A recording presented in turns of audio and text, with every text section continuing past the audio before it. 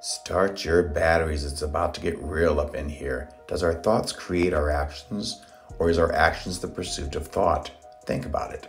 Does one pursue action 2,000 years in order to hold on later. to thought? Does your thought change your actions, or does your actions determine thought? The outcome is clear. Your actions create thoughts. Your thoughts will change with action.